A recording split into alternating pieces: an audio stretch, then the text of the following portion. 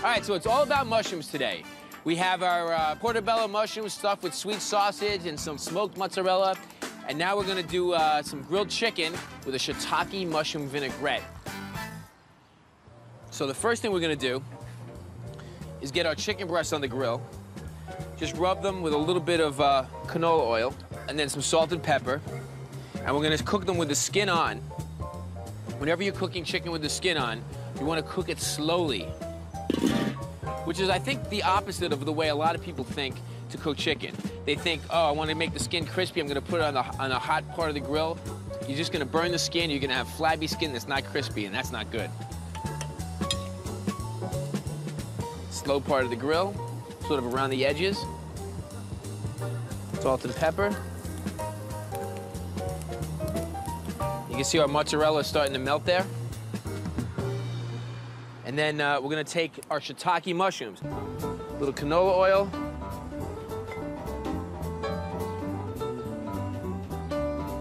We're gonna grill our shiitake mushrooms for our shiitake mushroom vinaigrette. Make sure you take the stems off these as well. We're gonna cover the grill now. We're gonna let our chicken and our shiitake mushrooms cook. We'll let our portobello mushrooms rest. We got some uh, chicken breasts on the grill. All we did with the chicken is put a little salt and pepper and some oil. We let the skin get nice and crispy, slowly. Turned it over, put the uh, grill top back on, and let it cook through. So that took about, uh, I would say, about 15 minutes. All right, and our chicken breasts nice and thick, too, so hopefully they're gonna be good and juicy. So we have our chicken breasts, and then we have our shiitake mushrooms here that we grilled as well. We're gonna make a shiitake mushroom vinaigrette. Let's go do it. All right, shiitake mushrooms that we grilled.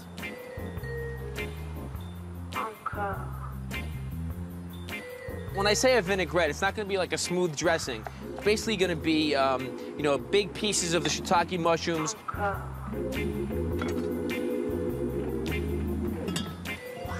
A little bit of balsamic vinegar. And balsamic vinegar is gonna be a little acidic, but it's also gonna be kind of sweet. And then we're gonna take some, uh, some olive oil. Some salt and pepper. And just a touch of Dijon mustard. Actually, you know what? I'm gonna use whole grain mustard. Okay, I'm just gonna mix it together. It's not gonna be one of those vinaigrettes that are emulsified. It's actually gonna be, the, uh, the oil and vinegar is gonna be a little bit separate, but I think it's gonna look really pretty on the plate. I'm gonna take some fresh parsley, and I'm just gonna tear the parsley. Just gonna tear the parsley leaves, throw it into the vinaigrette.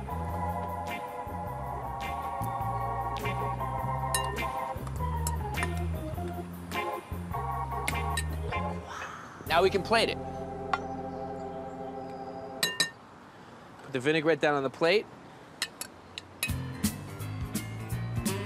Mm. Looks luscious. And we can cut up our chicken. And I'm, just, I'm gonna leave the chicken in, in fairly large pieces. See how crispy the chicken is? Crispy on the outside and nice and juicy on the inside. Just cook through. Maybe a little parsley in the middle.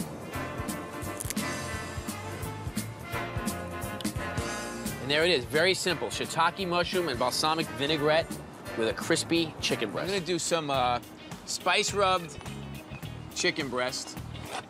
All right, so some ancho chili powder, a little bit of cumin, some cinnamon, and I'm gonna add a little bit of brown sugar, and that's gonna be my spice rub. Good contrast, a little sweet, a little spicy. I'm actually gonna put my chicken breast on the fire here, and then uh, I have a, a very, very simple spice rub that I made up. It's just ancho chili, some cinnamon in here, and a little bit of cumin, and just uh, some brown sugar. So actually, it's gonna get like a little bit of a, a caramelization on the outside because of the sugar. So spice rub side down over a nice hot grill. Let's see what happens here. Here's the simple technique of the day. I put the chicken breast down, leave it alone.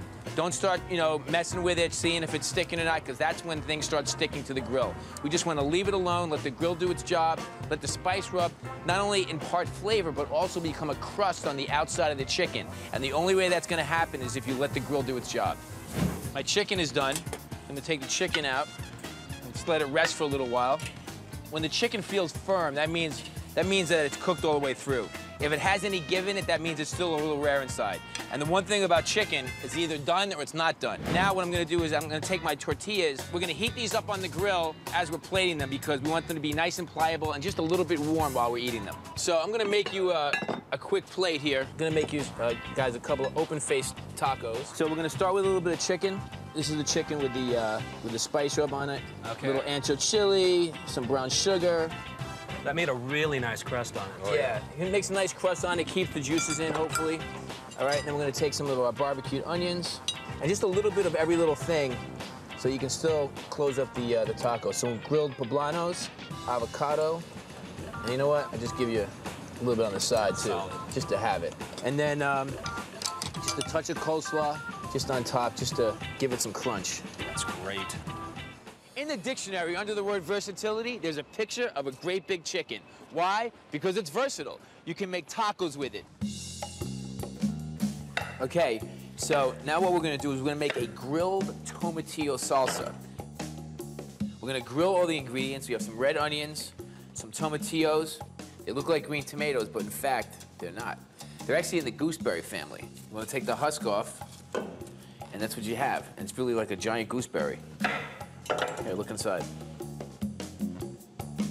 Okay, so we're going to uh, put all these in a, in a bowl with some serrano chilies and even a little garlic, a little oil, salt and pepper. Mix them together. Let's get them on the grill.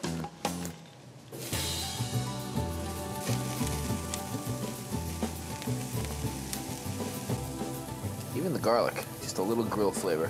Then what I'm gonna do, just cook them in a pan a little bit more, all these, all these ingredients.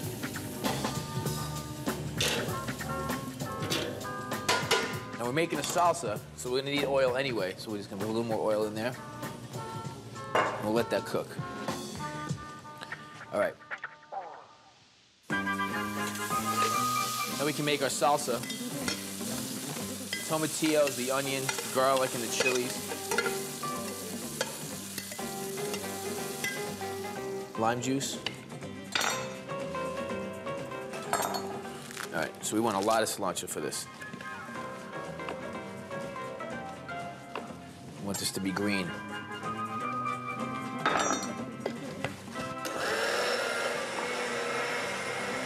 Just a touch of olive oil.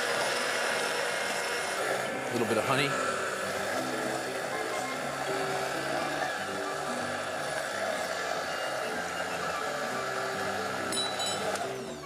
Now we have salsa verde.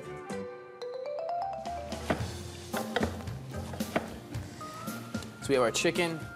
We're gonna put some uh, fresh cilantro on the plate. And then we're going to serve it with some queso fresco, which is like a fresh Mexican style cheese. We have two kinds of tortillas. These are flour tortillas, and actually these are made with, with red chilies in them. And these are blue corn tortillas. Blue corn is probably my favorite ingredient. Flour tortillas you can just sort of throw on the grill, but be careful, they go fast. Now the, the corn tortillas, because they're a little bit firmer, what I like to do is just run them under water for a second, give it some moisture, and then put them on the grill. All right, let's make a taco. It's always important to try out things before your friends come over. Take a little blue corn tortilla, a little bit of chicken, some grilled tomatillo salsa, a little queso fresco, and a sprig of cilantro.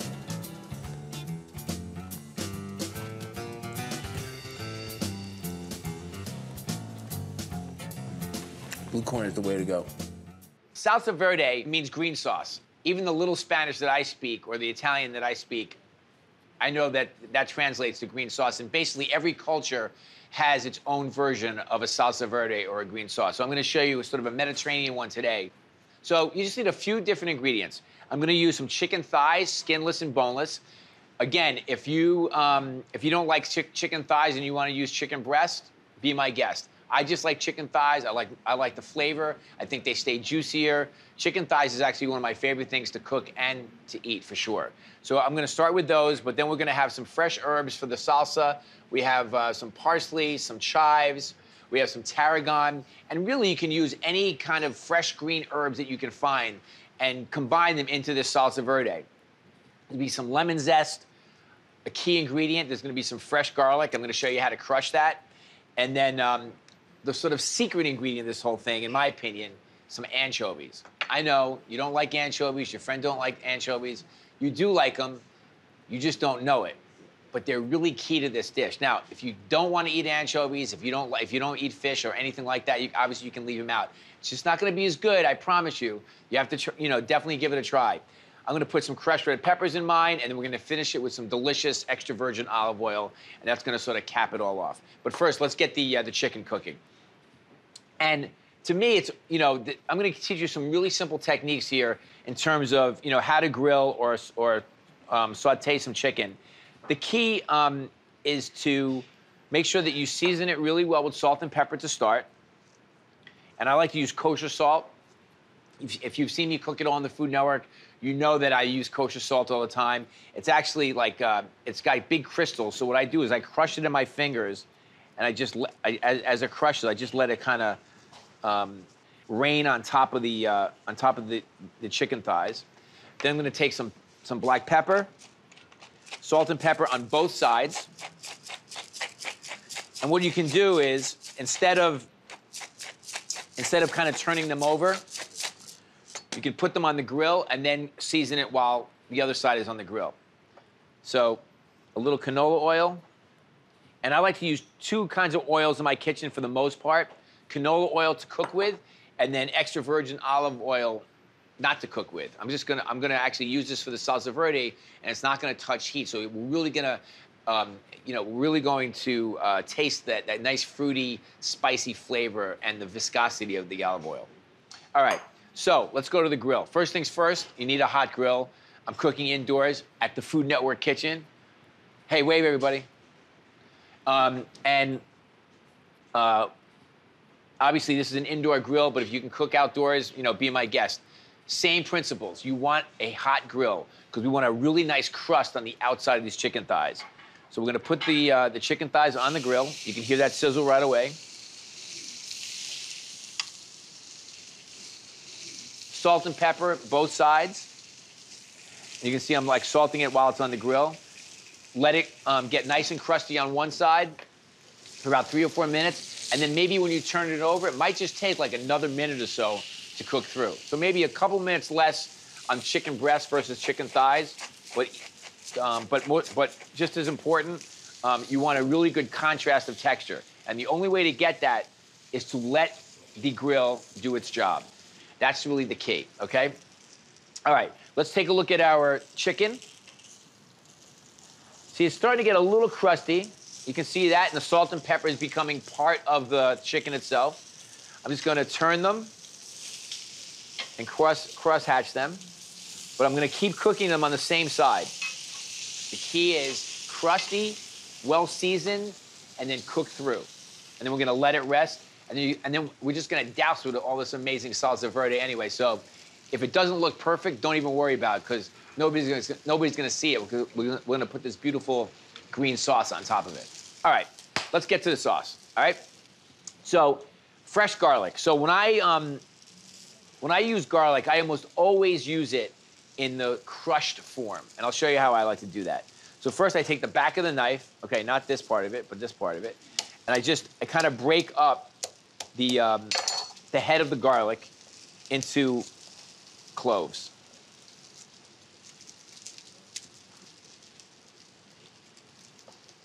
All right? And then I take, now you, now you have to get the skin of the cloves off of the meat of the garlic, right? So I'm gonna take, let's say, five of them. and I take my knife, I put the knife on top of it sideways, okay? And I take my the palm of my hand and I just push down onto the onto the garlic. And what it does is it actually helps the skin come away from the meat of the garlic. All right, then you can pick it up and it just makes it a lot easier to get the skin. You see, this is the, this is what this is the meat of the garlic. That's the skin of the garlic. You just want to get it to come away. Mm, chicken smells really good. Here, check this out. See how nice and crusty that's getting? I still want more crust than that. Basically, anything I'm cooking, I want to have a nice crust on the outside. So, now we have our garlic, and we're gonna make a nice, uh, we're gonna pulverize the garlic and crush it so that when it goes into the salsa verde or you're cooking with it, you know, for some other application, that it basically dissolves into whatever you're making. Because, you know, I've been to a lot of like not so great like southern Italian restaurants where they have those big chunks of garlic in the sauce and then you bite into the garlic and it ruins your whole meal. I mean, garlic is a wonderful thing, but like too much of it at one time can really kind of just overpower whatever you're cooking or eating. All right, so we're going to just start like a coarse chop like this. I would say like crushing garlic is probably the thing that I do more than anything else. And it's really important for me to get the garlic crushed and really fine. All right. Now, I'm gonna put a little salt on top of my garlic. No, I'm not seasoning the garlic, although that's gonna happen anyway. But I'm using the salt as an abrasive for my garlic, and I'll show you what I'm trying to do. So now, first I'm just kind of coarsely chopping it, but now I'm gonna take the, back, the side of my knife and I just crush away.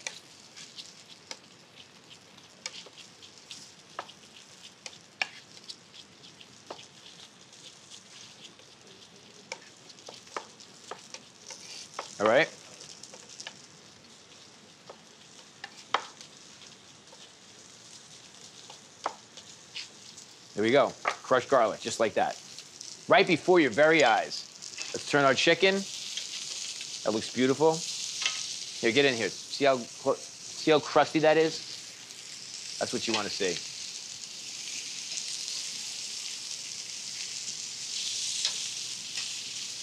So you can see the, the heat of the grill on this side was hotter, and this got crustier.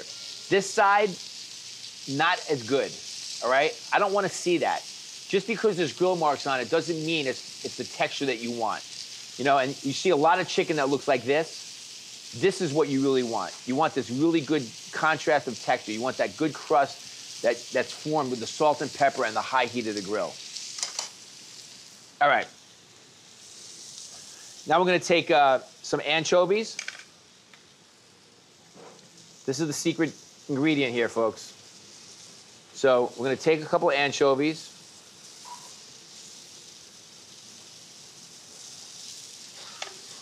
I'm going to chop these up as well.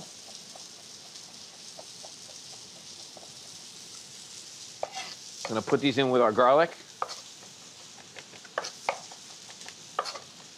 And I love this sauce because you, you basically, I, I call this like a cutting board sauce because everything is just going to be on the cutting board and chopped together. And then we're just going to finish it with a little bit of olive oil in a bowl and you're done. All right? So we take a whole bunch of herbs. So when you need you need more herbs than you usually think you need because you know when you see them in bunches, they look like they look very um, uh, voluminous. You know, they look like they have a lot of volume to them. But when you chop them, they really kind of they kind of melt down. So we have the parsley. I mean, yeah, we have the, the flat leaf parsley. We have the tarragon. I love this dish. And then we have the chives. And we're just to chop these all together.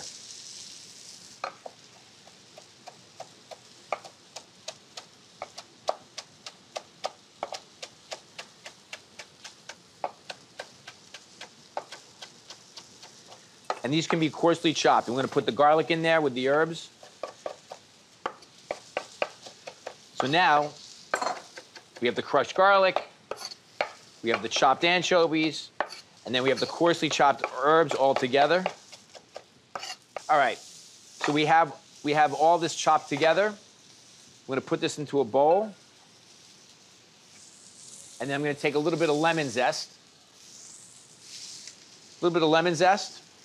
Now, if I put lemon juice in here, it's gonna actually cook the herbs like enzymatically. It's gonna, it's gonna turn them gray. It's gonna, they're gonna lose a little bit of their freshness. So I don't wanna do that. But I want that lemony flavor and the acidity from the lemon zest. And this is a great way to, to, to utilize the part of the lemon like a lot of people don't even use. So make sure you utilize it. And then a little bit of crushed pepper. You don't have to do this. I like my, my food a little spicy almost always, so I'm always gonna kind of reach for the chili peppers and, and stuff like that. And then, and then salt and pepper in here as well.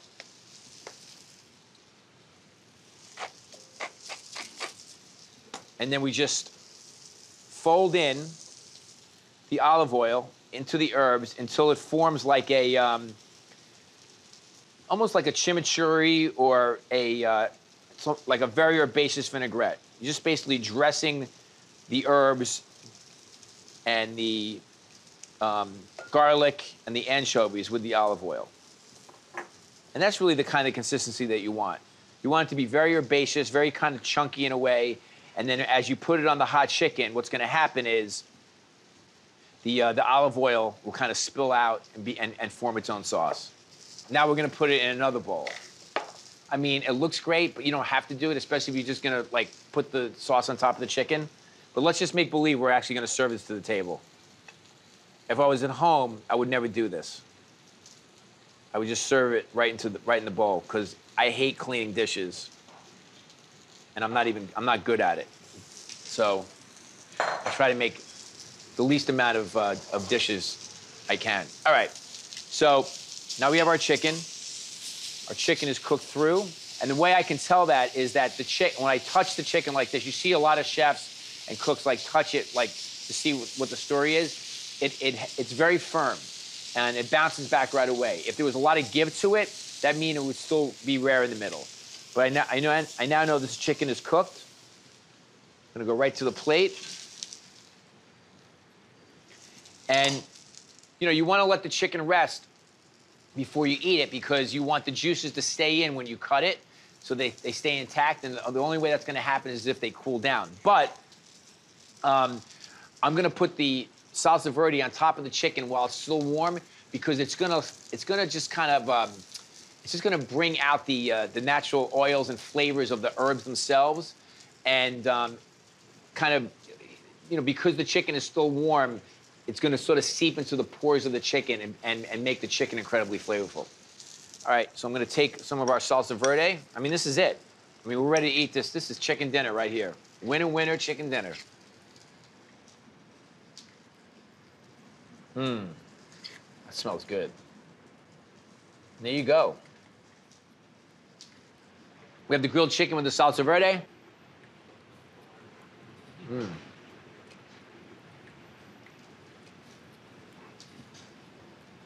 The first word that comes to mind is bright.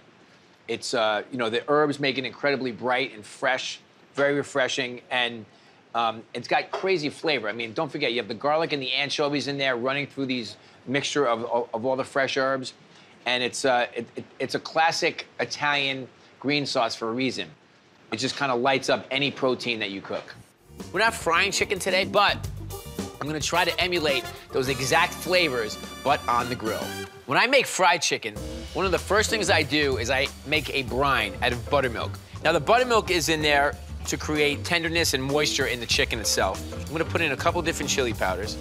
We have some ancho chilies, fruity with a little bit of heat. New Mexico chili, it's a little bit brighter and uh, it has a little more heat to it. And then some chili de arbol powder. I like to say it's cayenne with flavor, so it's got it's definitely gonna have some heat to it. And then some cascabel chili. It almost tastes like um, if tea was spicy. It has sort of an herbal flavor to it, but with some heat. And then we have some other spices in here as well. We have some smoked paprika, some ground coriander, granulated garlic and onion powder, and then we have a little bit of cinnamon. Lots of layers of flavor in there. Smokiness, fruitiness. We have some sweet spices like the cinnamon. All right, so we're gonna pour some of the marinade over the chicken. I cut the chicken into pieces.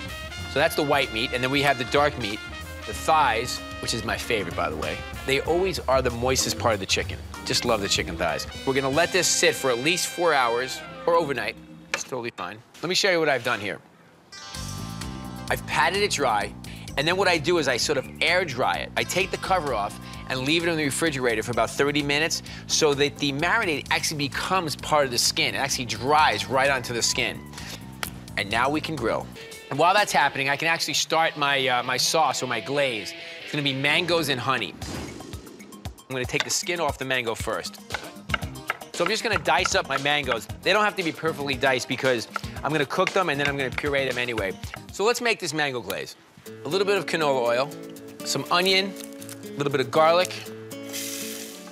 Okay, then we're gonna take our mangoes and some orange juice and some pineapple juice. The pineapple juice has a nice flavor to it, but you know what? If you don't have pineapple juice, orange juice will be just fine. A little ancho chili in there, and a little bit of white wine. We're actually using a Pinot Grigio. Let that cook down, cook out the alcohol, save the flavor of the grape. So you just want to make sure that the, uh, the mangoes, the onions, and garlic are nice and soft. I'm gonna puree this in a blender. Brush the mango glaze right on the chicken. You want to glaze the chicken just about when it's done because there's honey and there's the natural sugars from the mango in here. Those sugars will actually cook and caramelize very quickly. Just a couple more minutes of cooking, and then it'll be chicken time. So I'm just gonna grab a piece of chicken. I'll start with a drumstick. Tons of flavor here. You can taste the spices, and I just love the mango. I'm a huge mango fan. The mango and the honey glaze just uh, works so well with those big spices. And you, you, can actually taste a little bit of the buttermilk. Gives it that sort of tangy flavor underneath. The thighs are my favorite for sure. Let's grill some chicken. I have the chicken cut into parts. I have the chicken breast and the chicken thigh. The thigh is actually my favorite part of the chicken. I love the flavor of it. It's also uh, the moistest part of the chicken as well. A lot of people like chicken breast. I totally understand that, so we're gonna use both. There's a, uh, an Italian technique of cooking chicken called alla mattone, which means uh, under the brick. And so we're gonna take a brick and we're gonna cover it with some tin foil. If you don't have a brick, you can always use something heavy like a cast iron pan. You know, something like this. A cast iron pan might actually work as well. Sometimes what I do is I take the cast iron pan and I put the brick on top of it so it's nice and even. Let's just put a little salt and pepper down here, right on the skin side. Let's go to the grill. Really gonna put this at the slow part of the grill. We're gonna keep the thighs and the breast separate because the thighs will take a little bit longer to cook because the meat is darker. Now we're gonna season the other side with salt and pepper. And uh, if you notice, I didn't put any oil on the chicken breast because I fear that if we put oil on the chicken skin, that we're really gonna create flare-ups. I'm gonna take a little more foil just to protect the chicken. Then we're gonna take a cast iron pan. Just balance it just like that. Then we can take our bricks just for some extra weight. And this really ensures a nice crisp skin, which is really the key for good chicken.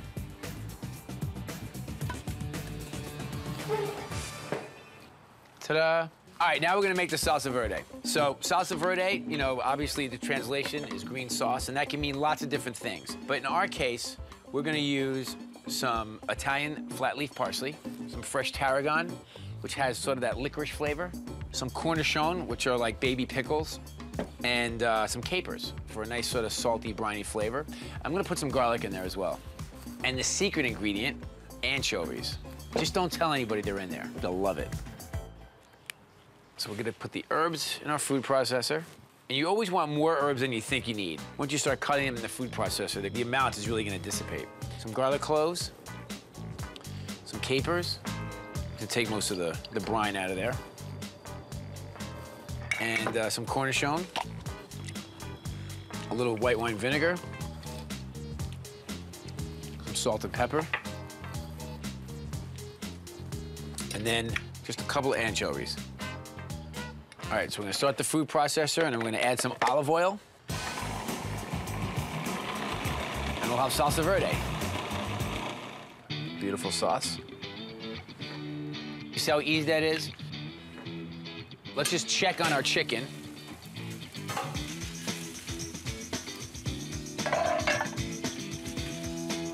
See, what's happening is the fat is rendering nice and slowly, and that's what you want. We close the grill, and we're gonna let the chicken cook all the way through. So here's our chicken breast. Just gonna cut this right through the bone. And the thigh we can just kind of keep intact. Then we can take some of our salsa verde. This is really just gonna wake up the flavor of the chicken.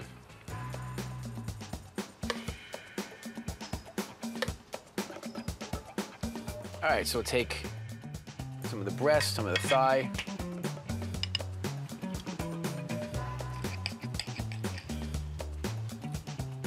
That's the magic. I'm actually gonna do a little French-inspired thing. It's a play on chicken cordon bleu, which is usually ham and cheese inside a chicken and then fried. What I'm gonna do is take some of that inspiration, but I'm gonna grill it. What I'm gonna do is I'm gonna pound this chicken and I just put a little bit of water on both sides of the chicken so it doesn't stick to the, uh, to the plastic wrap. I'm just gonna carefully pound it out. And this will actually help the chicken cook very evenly. I don't want to pan it too thinly. A lot of times, like like a classic chicken paillard is really, really paper thin. I want to have a little bit of texture to my chicken. When I bite into it, I actually want to be able to taste the chicken as well. As you can see, it's going to be nice and even here. All right, so I'm going to put my chicken breast on the grill here. I season this with a little bit of canola oil and salt and pepper, and that's it. Just going to make sure that nice and even, high heat. We, we just want to get a nice sort of sear on top of the chicken breast. Wow, you got that nice and thin. Oh, yeah. And you can see how quickly the, uh, the chicken is gonna cook here. Uh, it's almost cooked all the way through. I mean, when I turn it over, it's gonna just be a couple more minutes. So what I'm gonna do is I'm gonna move it to the indirect part of the grill. Okay, I got a nice crust on the outside there, which is exactly what I want. The other thing I'm gonna do is actually put some lemons on the grill, because I love when you grill citrus. Gives it that sort of nice roasted uh, citrus flavor, and I'm gonna make a vinaigrette out of this. Oh, that sounds great. You get some of that smokiness and the juice comes out easier, right? Exactly right. Now what I'm gonna do is I'm gonna take just a very thin slice of prosciutto, and actually, you know, they'll slice it very nice and thin for you. I'm just gonna just put a layer of prosciutto on top, and then I'm gonna take my triple creme cheese. Now this stuff is really strong. Um, has fantastic flavor. Is it kind of like a brie? It's like a brie with a lot more flavor. It actually has the texture of brie. Here, it, it tastes a little bit, but it. Uh, wow, yeah, that's got that's got some it's, kick. It's it's definitely pungent. Oh, that's beautiful. That's gonna be great on that chicken, Bob. Yeah, I mean, come on ham, ham, and cheese on chicken, you know? It's a classic combo, but you've uh, you've done it up in a new way. Exactly. All right, so I'm just gonna put our cheese on top. As you can see, I have it on the indirect heat, mm -hmm. okay? I started on the direct heat, got a nice sear. Now I'm gonna let it cook through and let the cheese and the prosciutto melt. Take a look at our lemons. Starting to get nicely grilled.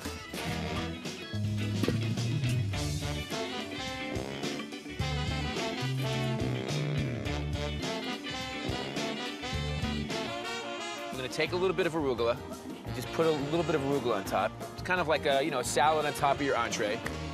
Extra virgin olive oil. Just squeeze some of this roasted lemon on top. Okay, and a little salt and pepper. I'm gonna let Mark give this a try. All right, Mark. Oh man, Bobby, that looks beautiful. This is all you.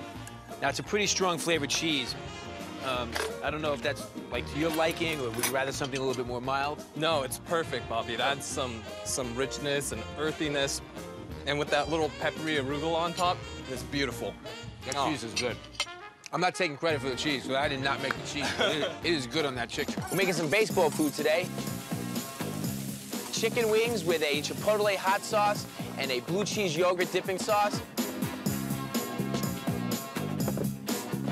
Sometimes they use sour cream. We're gonna use yogurt just so we feel like we're being healthy. Okay, we need a pot. Here we go. We have some, uh, some red wine vinegar. Now this is the sauce that we're gonna actually bake the chicken wings in after we grill them.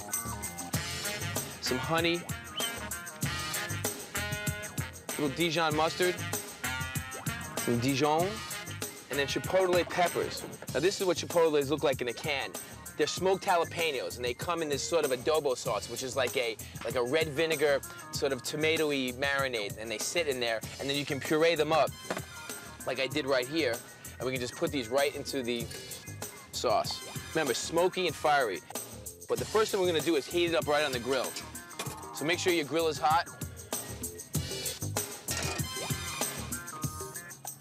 All right, while that's working, we're gonna make sort of the dipping sauce. When you go to a bar and you eat buffalo chicken wings, you know, you get sort of like this Tabasco-y kind of sauce, you know, very spicy, and then they serve it with like a blue cheese uh, dressing usually, and usually it's like sour cream and lots of blue cheese. Instead of that, we're gonna use yogurt, and you know I love to use that thick Greek yogurt because it has fantastic texture. Let's make a lot of this because we got a lot of chicken wings. We're gonna dice up a little red onion, and the red onion is obviously gonna add a lot of flavor to it, but also I want that crunch, you know, that, that sort of, that crispy crunch that you get with, uh, with really nice, fresh red onions. And we're gonna cut them rather fine, actually. Dice them up. Next up, some green onions. Paper thin if you can get them.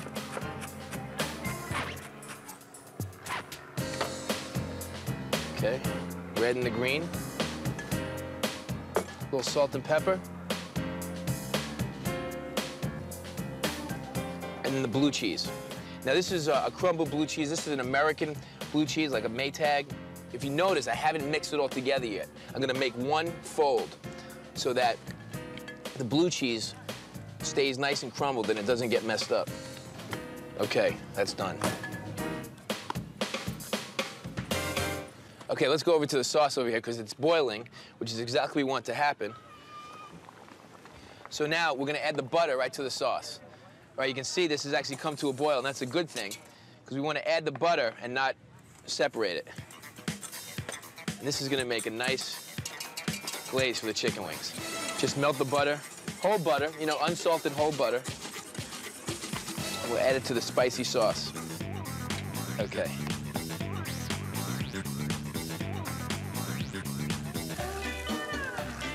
Well, we're cooking some chicken wings here, and obviously you want to get them nice and crispy. You know, it starts getting, you know, a little crispy like this. You might want to turn it over. These are definitely ready. And we're gonna cook the chicken wings right in the sauce.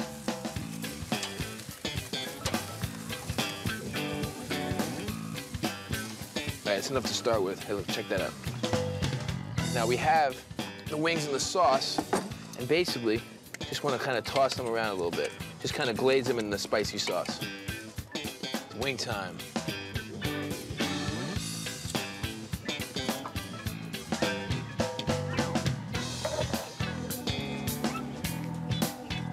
Anybody hungry? All right, so we're gonna brine our chicken first. Buttermilk, salt and sugar. Since we're going up against Gillian, who's got some apparently dynamite fried chicken, we decided we wanted to do something different this time. So we came up with a batter to dip the fried chicken in. Flour, cornstarch, equal parts, and then we're gonna add smoked paprika and some cayenne, some chili de árbol. I'm just afraid that, that, this, that you're going to add too many spices. Oh, Hey, Bobby, you need some help? anytime. and then I'm gonna add some water to thin it out. Don't want it to be too thin, don't want it to be too thick. Are you making a batter? Yeah, we, you know, we tried something new for you. Tried You're bringing it. I'm looking forward to it.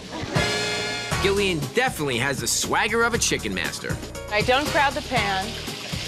I get that edge of brown going. I cook 1,100, 1,200 pieces of chicken a week. Let's pat it dry, and then I'm gonna season it, and then we'll start frying. Do you do a lot of fried chicken at home? I do, I do fried chicken at home and the restaurants. Oh, okay. Monday night at Bar Americain is fried chicken night, Oh. but it's not this recipe. Will you consider changing it based on the results of tonight? Everything's always a work in progress. I agree, I agree. After a dip in our batter, we're able to start frying some of our chicken, but the oil in most of our pots just isn't cooperating. We're almost at 340. That's funny. I turned it off, and it still keeps Still going going up. I know. That oil's too hot, and that oil's too cold. It's really hard to deep fry like that. That's very, that's very challenging. It's hard for that to stay hot. Is this on? No, it's not. All right, let, let- let me do it. Let me do it, please. Can I, can I come on that side? Can you believe I can't believe that. Why did the fried chicken cross the road? But we've isolated the problem, so we can finally get frying. We have five pieces done. How many people here?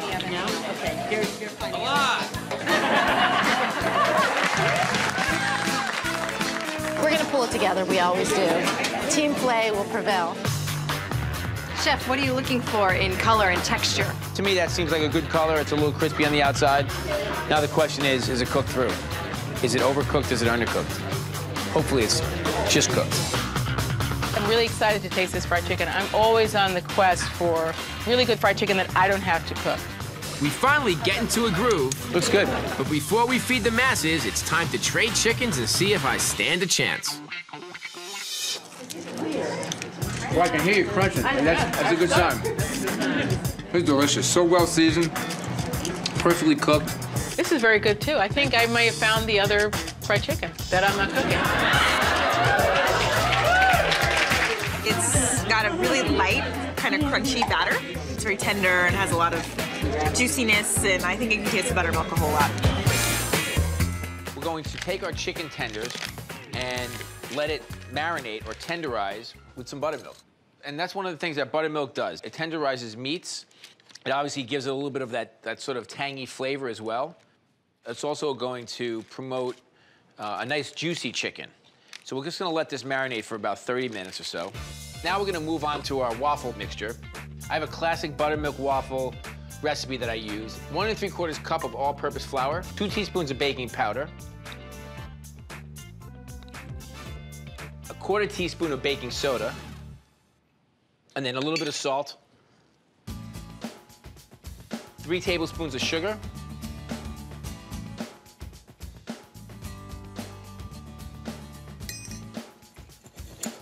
All right, those are our dry ingredients. Then we need three eggs, a little bit of melted unsalted butter, and one and a half cups of buttermilk.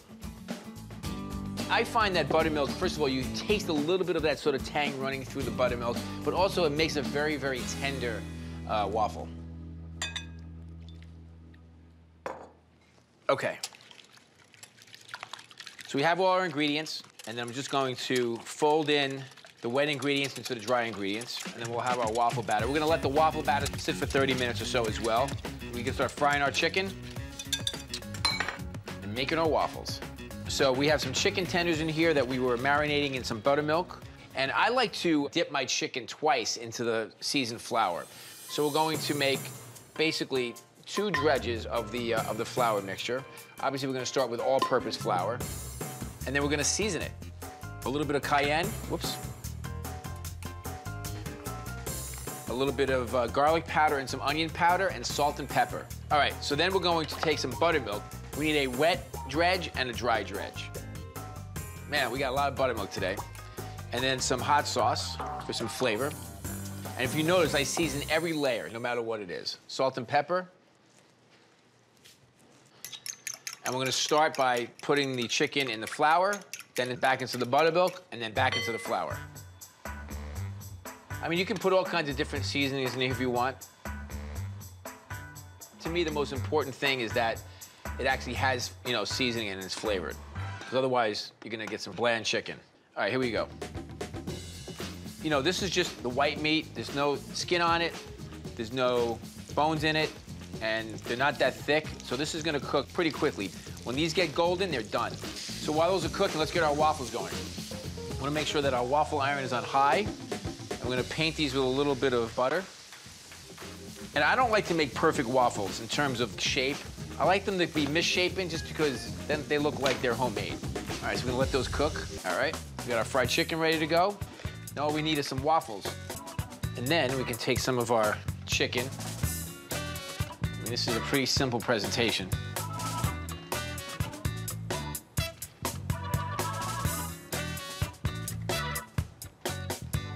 And then a little bit of honey.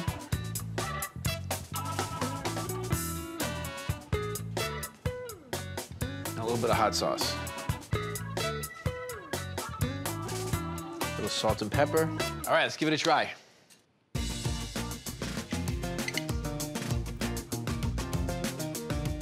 So good. You can taste the tanginess of the buttermilk. So you have the crispiness on the outside, the tender, light and fluffy waffle on the inside. I think the buttermilk has a lot to do with that. And then you have the crispy fried chicken with lots of flavor. And to me, this is uh, actually one of the most perfect dishes in America, period.